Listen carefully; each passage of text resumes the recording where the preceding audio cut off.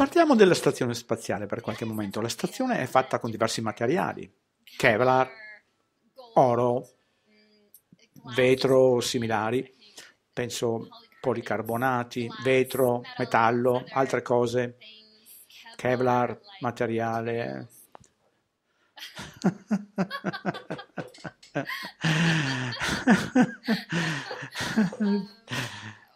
Ci guarderemo dentro e forse andremo su e giù qui, ma ecco qui il mio punto.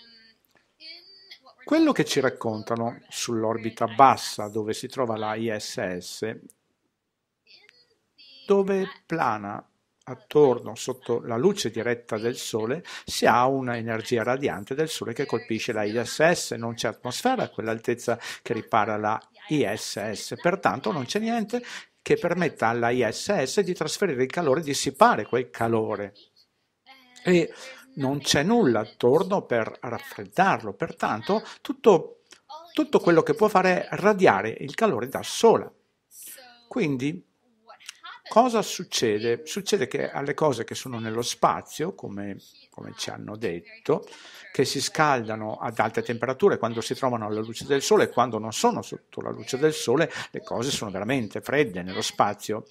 Qui nella Terra abbiamo l'atmosfera attorno a noi, Pertanto, quando il sole riscalda l'aria, richiede tanto tempo per quest'aria per raffreddarsi nuovamente durante, infatti durante la notte si rinfresca ma non abbastanza, non c'è abbastanza aria, non c'è abbastanza energia nelle molecole, nelle particelle nell'aria che continuano ad agitarsi a causa dell'energia del calore fino al mattino successivo dove c'è ancora la luce del sole che le fa agitare ancora di più e le fa diventare più calde ed anche se le vediamo raffreddarsi non andranno a meno di 170 gradi Celsius a meno 338 gradi Fahrenheit, come si potrebbe vedere per esempio sulla Luna, quando è nella parte oscura, per il fatto che non c'è atmosfera attorno per proteggerla dal freddo o permetterle di dissipare facilmente il calore all'interno di un ambiente attorno più fresco quando fa veramente caldo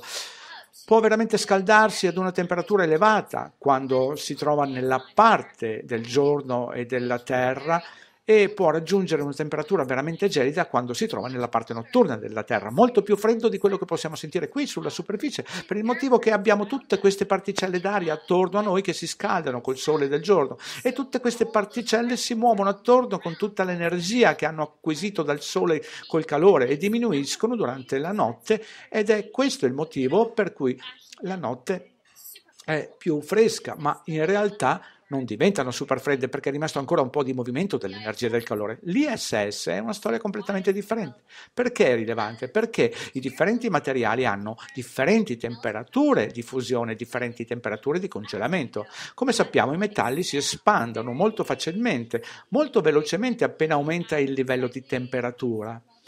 Non, non riuscite a togliere il tappo a vite dalla vostra bottiglia di vino, dovete metterla sotto l'acqua calda, così il metallo del tappo si espande e potete aprirla facilmente. Eh, è quello che facciamo usualmente nelle nostre vite e conosciamo questo concetto che se un metallo che usiamo come tappo lo mettiamo sotto l'acqua calda inizia ad espandersi, così il metallo della ISS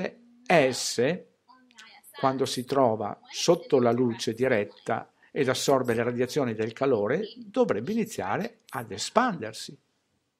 Tuttavia, i differenti componenti della ISS si dovrebbero espandere in modi diversi. Questo è irrilevante se per esempio pensiamo, facciamo che ho tagliato il mio video, ma è perché la mia videocamera l'ho lasciata surriscaldare e poi l'ho chiusa e per poi ripartire. ecco perché ho tanti tagli dei miei video, ci sono altri motivi, ma questo è uno di essi. Eh, per... Eh, quindi, eh, dove eravamo? Ah sì, materiali differenti. I pannelli solari, questi pannelli solari della ISS hanno dei metalli eh, nell'involucro esterno e danno materiali nei pannelli all'esterno, al centro. Quindi quello che dovrebbe accadere se la ISS è veramente nello spazio, nell'orbita bassa, il metallo attorno al pannello solare, quando è sotto la luce in pieno giorno, Bene, questo metallo si dovrebbe espandere e lo stesso pannello solare che è costruito con materiali differenti non dovrebbe espandersi così velocemente e non dovrebbe espandersi molto. Pertanto, se l'involucro esterno si espande ed il pannello interno, i giunti ca- de- dovrebbero cadere. dovrebbero cadere o si deformerebbero, dipende da come è costruito il telaio. Anche quelli si dovrebbero espandere. Se sono attaccati saldamente lungo la nervatura e se sono ben ancorati in, in base all'espansione, saranno sempre vincolati alla parte interna ed inizieranno a torcersi se non sono ben uniti dalla parte interna o anche se fossero uniti negli angoli o in altri modi. Ci si aspetta che si estendano in fuori ed il pannello solare semplicemente precipiterebbe nello spazio. In tutti i casi, questa intelaiatura dovrebbe spostarsi, flettersi sempre più quando diventa rovente con i raggi solari, lo stesso pannello solare dovrebbe spezzarsi o cadere o frantumarsi se non distruggersi. Ed una volta che girano nella parte buia per il motivo che non c'è un'atmosfera che permette alla temperatura di cambiare gradualmente, quello che succede è che l'ISS va da 170 gradi Celsius a circa meno 270 gradi Celsius. In un attimo, così o così, in, così, in pochissimo tempo passa da rovente, da caldo di fusione, ad una temperatura molto gelida, bollente e freddo. Molti metalli sono fragili quando diventano gelidi. L'acciaio diventa fragile. Ho bevuto molto vino. sì, sono, sono, veramente stressata perché avrei voluto fare meno di questi tagli di modifica in questo video e per qualche ragione mi sono stressata, ma normalmente sono in grado di parlare più a lungo, ma oggi ho tutti questi problemi. ho tutti questi problemi. Anch'io divento molto calda, ma mi piace essere un po' strana, ma andrò a sistemare questo. eh, allora, dove eravamo? Sì, l'acciaio. L'acciaio può essere fragile quando gela. Pertanto, se si ha qualsiasi vite di acciaio o qualsiasi componente in qualsiasi parte dell'ISS, succede che diventa veramente gelido e fragile quando si trova nella parte notturna. E quando arriva nuovamente nella parte del giorno il calore sarà immediato. E visto che questo metallo passa dal gelo ad una doccia di calore radiante, beh, questo che cosa dovrebbe fare? Si dovrebbe frantumare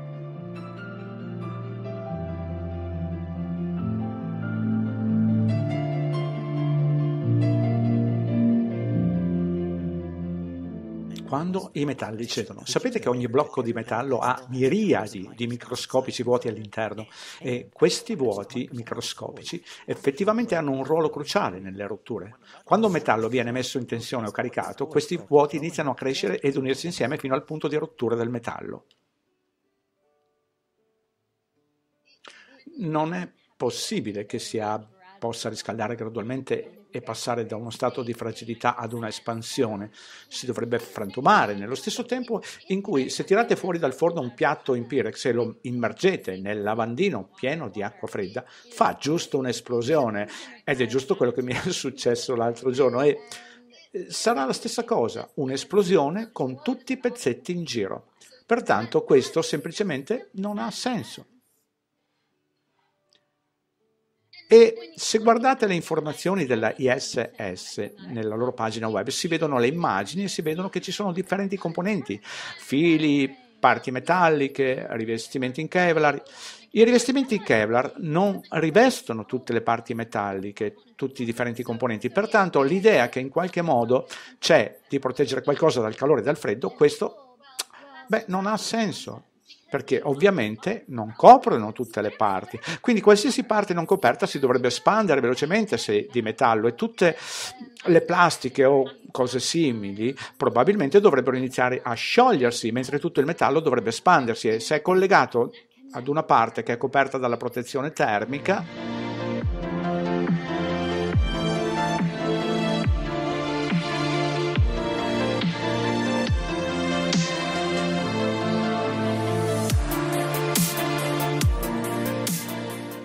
questi componenti non possono espandersi e non, eh, insomma, valvole con ingranaggi e congegni si dovrebbero staccare e non, non, è, non, è, non, ha alcun senso. Veramente, se vi sedete, pensate un momento, logicamente a questa macchina nello spazio, non, non è semplicemente una cosa non logica. Dopo aver detto questo, ho trovato interessante che la NASA ha messo tutte queste informazioni della ISS sulla sua pagina web. Ho guardato il percorso della ISS, gli stati, le distanze che copre, la velocità.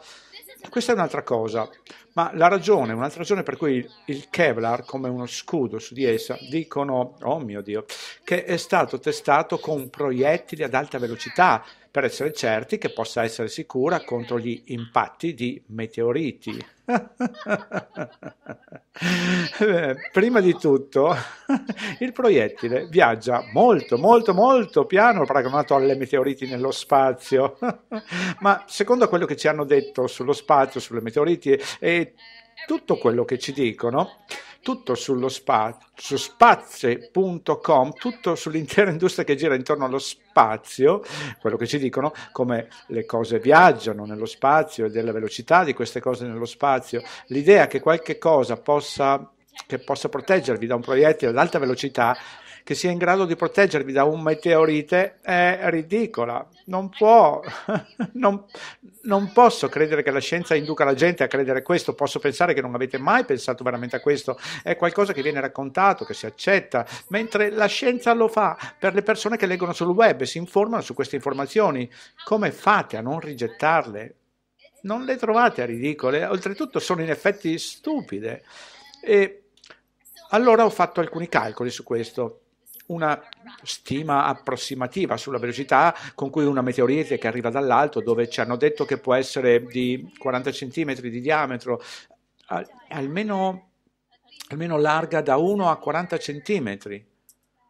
Un pezzo di meteorite cade nell'atmosfera ogni giorno. Questo significa che in orbita attorno alla Terra arrivano verso la Terra questi pezzi larghi 40 cm virgolette, inevitabilmente vanno a colpire la ISS. E questo è il motivo per cui hanno messo questo scudo di Kevlar sulla ISS, eccetto che non hanno messo questi scudi di Kevlar sui pannelli solari e non l'hanno messo dappertutto sulla ISS e non l'hanno messo sui finestrini della ISS perché l'avrebbero bloccato la vista. Ora, se ho fatto, ho fatto dei calcoli per vedere quanto la pressione per pollice potrebbe espandersi da un meteorite che colpisce il finestrino della ISS e, ed ho inserito questo da qualche parte qui.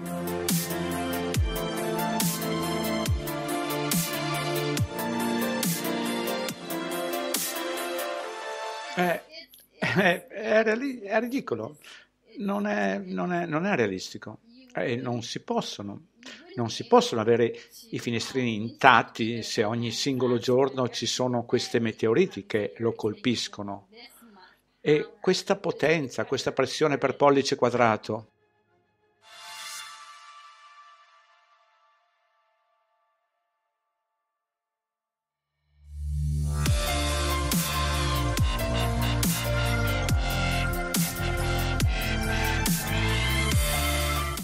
Spero di avervi aiutato a pensare all'idea sul concetto che forse l'ISS non gira veramente attorno sopra le nostre teste nello spazio. Comunque, se ancora siete saldati a questa idea, allora, beh, allora ho un altro argomento per voi, perché da quanto rilevate sul web, la distanza che la ISS copre non combacia con la grandezza della Terra. Infatti la ISS ed i dati che ci forniscono in termini alla velocità con cui viaggia e di, eh, della traiettoria del percorso sembra suggerire che la Terra sia veramente un 195 miglia più grande di quello che è. Se il mondo è un globo, la ISS è qualcosa che viaggia attorno a questo globo, ma il globo della ISS a cui gira attorno è circa 195 miglia più ampio del globo su cui pensate di vivere. E se la Terra non è un globo, la Terra di cui non conosciamo molto è 195 miglia più larga rispetto alla Terra che conoscete. Eh, lo trovo interessante questo e come sono arrivata a questo. Andiamo a vedere i miei calcoli. Quindi la velocità è di 17.500 miglia orarie ed il circolo attorno al globo ogni 90 minuti. Questo è molto interessante. Se la ISS circola il globo ogni 90 minuti, come ci dicono, e da quanto hanno detto è facile, non lo so, sono 16 albe e tramonti ogni giorno. Quindi andiamo da un calore estremo ad un gelo estremo ogni 90 minuti. Espansioni e contrazioni ogni 90 minuti.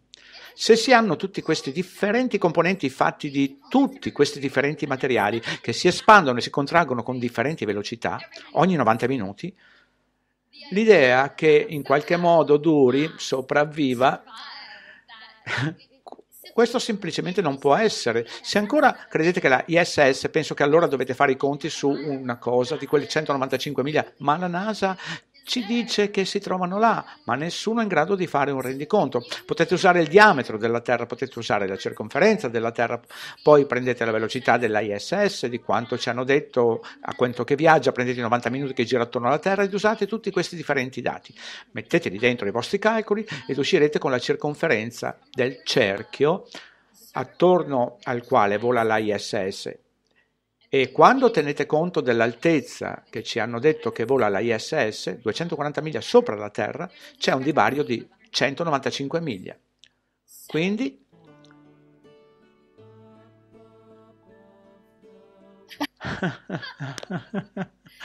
vi lascio con questo e cercate un senso voi stessi.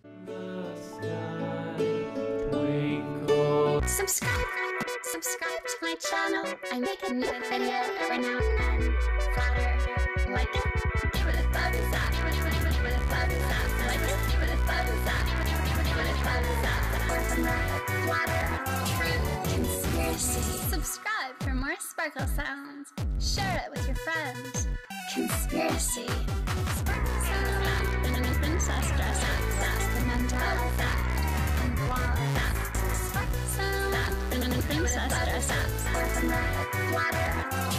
Conspiracy.